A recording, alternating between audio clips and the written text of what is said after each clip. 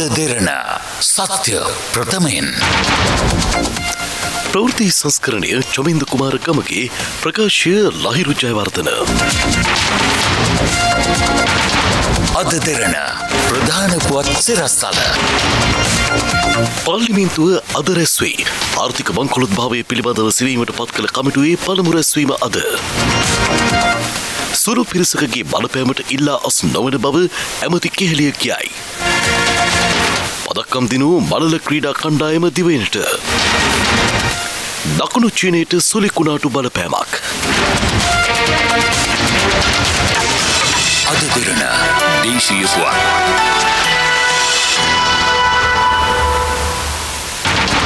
The big story. පාර්ලිමින්තුව අද පෙරවරු නවය තිහට රැස්වීමට නීමිතව තිබෙනවා.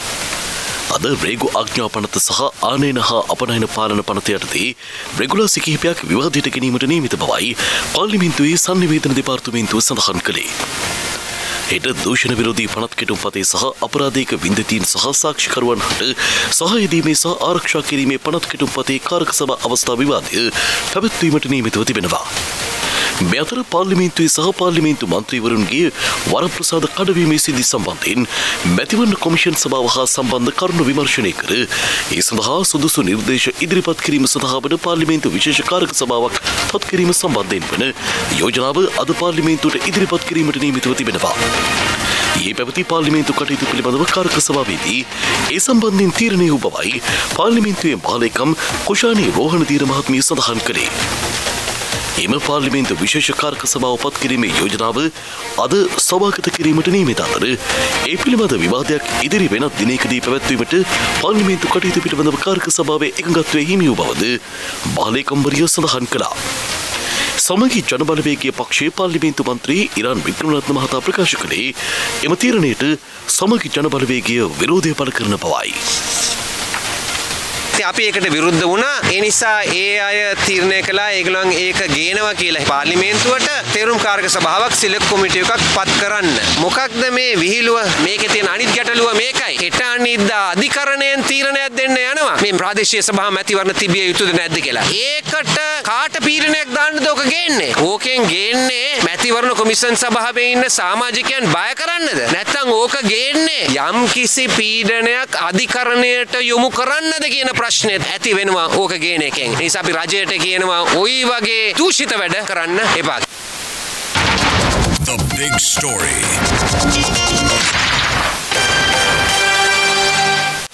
රට ආර්ථික වශයෙන් බංකොලොත් වීමට හේතු සෙවීම සඳහා පත් කළ කමිටුව අද පළමුවරට රැස්වීමට නියමිතව තිබෙනවා.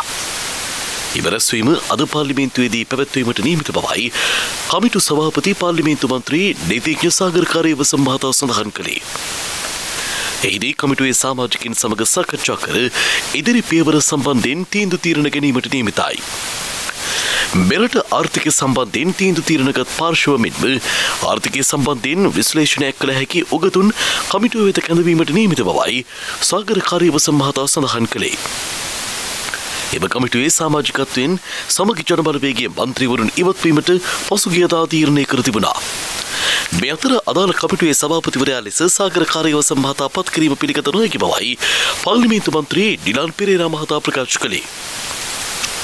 ලංකාවේ ආර්ථික වශයෙන් අපරාධ සිද්ධ වුණා කියලා එක්සත් ජාතීන්ගේ සම්මේලනයේම තමයි වරක් කියන්න යෙදුනේ ඒගොල්ලෝගේ වාර්තාව. එතකොට ඒ ආර්ථික වශයෙන් මේ රට මුණ පාලා තියෙන මේ බරපතල තත්ත්වය හොයන්න විපක්ෂය අපි තමයි යෝජනා කරේ මුලින්ම මේකට හොයන්න කොමිටුවක් දාන්න කියලා. කොමිටුවක් දැම්මා. ඒක හරිය හොරාගම්මගේ පේනාඩය කොමිටිය. සභාපති කවුද කොමිටියේ? සාගර කාර්යවස. මේ රටේ මේ ආර්ථික අර්බුදයට වග කිය යුතු මහා කපුටාගේ පොඩි එකා. පොඩි කපුටු. ඒ කියන්නේ හොරකම් කරපු මිනිහාගේ හොරකම් හොයන්න ඒ හොරුන්ගේ පොඩි උන්ට දාලා හරියනවා.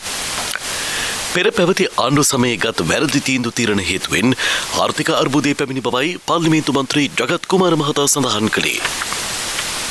පහුගිය කාලේ අපේ ආණ්ඩුව ඇතුළෙත් ගත්ත තීන්දුව තීරණ නිසා අඩුපාඩු නිසා තමයි රටේ ආර්ථිකය අර්බුදය ආවේ. හැබැයි ලෝක තත්ත්වයන් එක කොවිඩ් එක ආව, ලෝකයේ ආර්ථික ගැටලුව ආව, ඇමරිකාවෙත් මුදල් අච්චු ගහන තැනට ආව, ඇමරිකාවෙත් සල්ලි නැති භාණ්ඩාගාර හිස් වෙන තැනට ආවා. ලෝකේ රටවල් ගණනාවක උද්දමනය ඉහළ ගියා. අපි 198ක උද්දමනය ඉහළට ගියා. දැන් ඒක තනි ඉලක්කමට ඇවිල්ලා තියෙනවා. ඉතින් ඒ නිසා මං හිතන්නේ වැටිච්ච තැනත් එක්ක ගත්තාම ගොඩ ඇවිල්ලක් තියෙනවා. හැබැයි ඒ ගොඩ ඇවිල්ලා අනිත් පැත්තෙන් තව අංශකින් වැටෙන්න ගියොත් මේ අහිංසක මිනිස්සුන්ට හානි වුණොත් ඒක ප්‍රශ්නයක් වෙනවා. ඒකයි මම මේ යෝජනා කරන්නේ අර්බුද විසඳගෙන ජනතාවගේ තියෙන ගැටලු වලට සහන දීලා ඉස්සරහට යා යුතු තියෙනවා.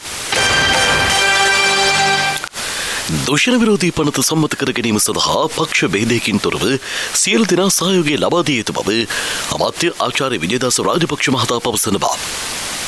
අමාත්‍යවරයා සඳහන් කළේ එම පනතට විරුද්ධව යම් අයෙකු ඡන්දය ප්‍රකාශ කරන්නේ නම් ඒ ජනතාවගේ අයිතිය ප්‍රතික්ෂේප කිරීමක් ලෙස සැලකෙන බවයි.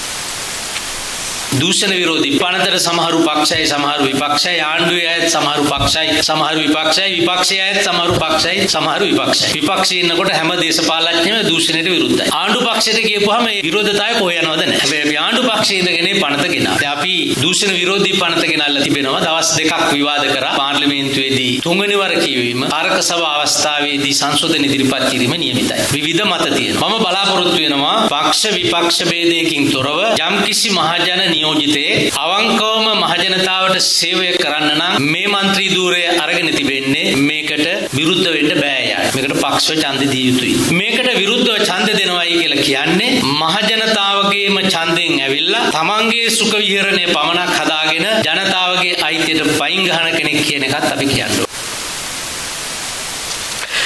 මෙම දූෂණ විරෝධී පනත ආසියාවේ කිසිදු රටක නොමැති බලගතු පනතක් බවයි එක්සත් ජාතික පක්ෂයේ සභාපති වජිර අභිවර්ධන මහතා සඳහන් කළේ.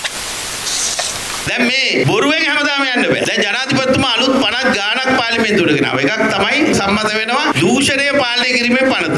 ආසියාවේ කොහෙවත් නැති බල සම්පන්න පනත. අරයට හොරා මෙයාට හොරා කී කී ඉඳලා වැඩක් නැහැ. හොරු පාලනය කරන්න පුළුවන් පනත අන්න කියනවා. සම්මත වෙනවා පාර්ලිමේන්තුවේ. දැන් මේ සෙල්ලම නවතින්න තියෙනවා. එහෙනම් අපි අලුත් ගමනක් යා යුතුව තිබෙනවා.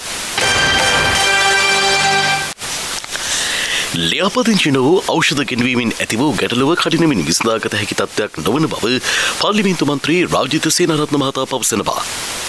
සමග ජනබලවේගේ මන්ත්‍රී කණ්ඩායම් රැස්වීමෙන් පසු රාජිත සේනාරත්න මන්ත්‍රීවරයා ප්‍රකාශ කළේ පසුගිය වසරේ පමණක් ලියාපදිංචියකින් තොරව ඖෂධ හත්සිය අසූ පහක් මෙරටට ගෙන්වා ඇති බවයි. ඇමතිවරයාට කොච්චර මේක තේරෙනවද කියන මම දන්නේ නැහැ. දැන් මේකේ භයානකම තාම ඇවිල්ලා නැහැ. දැන් මේ ගෙනාපු ඖෂධ දැන් රෝහල් වලට ගමන් කරමින් තියෙන කාලේ. දැන් ඉස්සරහටත් ගමන් කරනවා. එතකොට මේ තියෙන තොග වලින් මේ ඖෂධ වල කොච්චරක් ප්‍රමාණයක් තව තියෙනවද දන්නේ නැහැ. මේ ලියාපදිංචි නැති ඖෂධ. ගිය අවුරුද්දට පමණක් ලියාපදිංචි නොකර ඖෂධ ගෙනලා තියෙන ඖෂධ වර්ග 785ක්. එතකොට මේ 785න් තාම 4යි 5යි මේ අවුල තියෙන්නේ. තව කීයක් මෙවැනි හානිකර ඖෂධ තියෙනවද දන්නේ නැහැ. එතකොට මේවා දැන් මුළු රටටම බෙදා හැරෙමින් තිබෙන්නේ. එතකොට දැන් කාටවත් මේක ඉක්මනට විසඳ ගන්නත් බෑ. මොකද වහාම මේ ඖෂධ වෙනුවට තව ඖෂධ ගේන්නත් බෑ. ඒකට රුපියල් බිලියන 100 ගණනක් වැය කරන්නට වෙනවා. ඉතින් එතකොට මේකට ෂණික පිළිතුරක් නැහැ. සෞඛ්‍ය පිළිබඳ අවබෝධයක් නොමැති පුද්ගලින්ගේ තීරණ හේතුවෙන් මෙම තත්ත්වය හටගෙන ඇති බවයි මන්ත්‍රීවරයා වැඩිදුරටත් සඳහන් කළේ. මොකද ඇමතිවරුන්ට අවශ්‍ය විදියට ඖෂධ ගෙනීමක් ලංකාවේ තියුන්නේ නැහැ කවදාකවත්. දැන් කවදාකවත් අපේ කාලේදී මම එකම දුරකථන ඇමතුමක්වත් දීලා නැහැ මෙන්න මේ ඖෂධය ගේන්න කියලා. නමුත් ඒකේ සභාපතිවරයාම කියනවා මෙන්න මේ ඖෂධ හදිසියකින්ද මේකට වහාම ලියාපදිංචි නැතුව මේක දීමට අවසර දෙන්න කියලා. ඉතින් මෙවැනි සෞඛ්‍ය පිළිබඳ අවබෝධයක් නැති වෛද්‍ය විද්‍යාව කිසිම දෙයක් අවබෝධයක් නැති අය ගත්ත තීන්දුව නිසා අද මුළු රටම මහා කලබගෑනියක් ඇති වෙලා තියෙනවා. පාර්ලිමේන්තු මන්ත්‍රී කවින්ද ජයවර්ධන මහතා සඳහන් කළේ අමාත්‍යවරයා හෝ රජය සෞඛ්‍ය ගැටලුව මේ දක්වා අවබෝධ කරගෙන නොමැති බවයි. රටේ ඇති වෙලා තියෙන මේ ඖෂධ හිඟය. ඒ වගේම බාල ඖෂධ ගෙනීමත් එක්ක රෝගීන්ගේ ජීවිත අහිමි වෙලා තියෙනවා. ඒ වගේම සංකූලතා ඇති වෙලා තියෙනවා. අන්ධභාවය ඇති වෙලා තියෙනවා. මේ තුල දැවැන්ත රටේ බියක් ජනතාව තුල ඇති වෙලා තියෙනවා. මේ රටේ අහිංසක රෝගීන් අසරණ වෙලා තියෙනවා. එවැනි තත්ත්වක මේකට වග කියන්න ඕන විශේෂයෙන්ම සෞඛ්‍ය ඇමතිවරයා සහ වර්තමාන රජය. හැබැයි මේ වන විට රජයවත් මේ ඇමතිවරයාවත් මේ වර්ධ පිළි අරගෙන මේක निराකරණය කරන්න අවශ්‍ය කරන කටයුතු ක්‍රියාත්මක කරනවා අපිට පේන්නේ නෑ සෞඛ්‍ය මතය කේලේ නමුක් කළ මහතා ටීවී දෙරනොස්සේ විකාශය වූ තුන්සිය හැට කාලීන වැඩසටහනට එක්වමින් ප්‍රකාශ කළේ සුළු පිරිසකගේ විරෝධය හමුවේ ඉල්ලා අස්වීමට තමා සූදානම් නොවන බවයි.